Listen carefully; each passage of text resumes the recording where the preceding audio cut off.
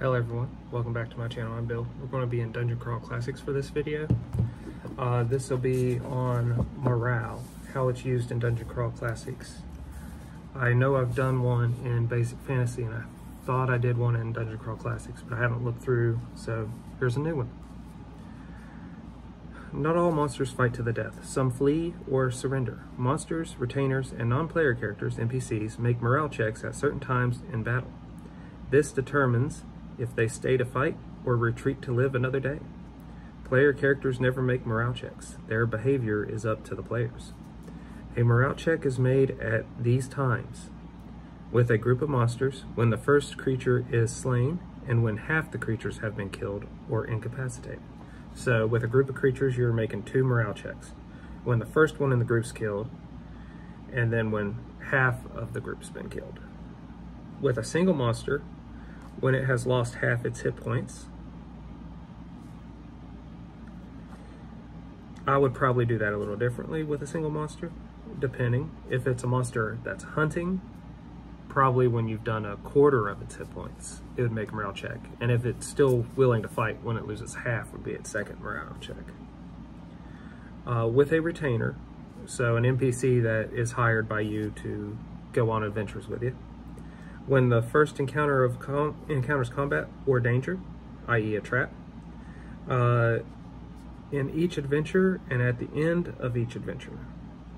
So a retainer might lose his morale after the adventure and not want to adventure with you anymore, is what it's trying to say. The morale check is made by rolling 1d20 and adding the creature's will save. A result of 11 or higher is a success. The creature can keep fighting. On a 10 or less, the check is failed. The creature attempts to flee the combat.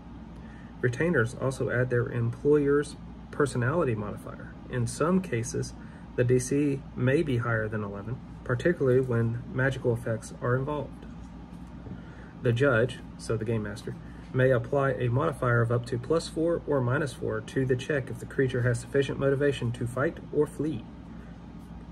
For example, a mother defending her cubs would receive a plus four bonus, as would a goblin shaman defending his sacred shrine. However, a goblin slave willing to see his ogre overlord slain might have a minus four morale modifier, as would a mindless giant centipede that just wanted food, not a fight.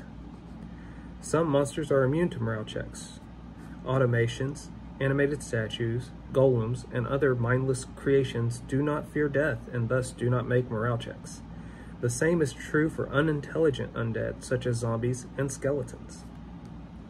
So, essentially, anything that could think for itself would be allowed a morale check.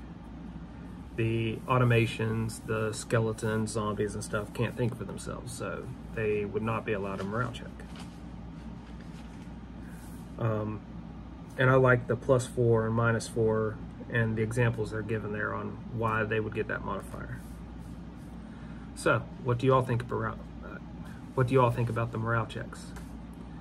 Is it something you would like to implement in your other games as well as just use them in general for a lot of combats? It's very easy to see how it works. And I do use that sort of in my Pathfinder games, but I think I'll use this a little bit more actively in my Pathfinder games. I'd like to hear what you all think in the comments below. Until we all game again, guys.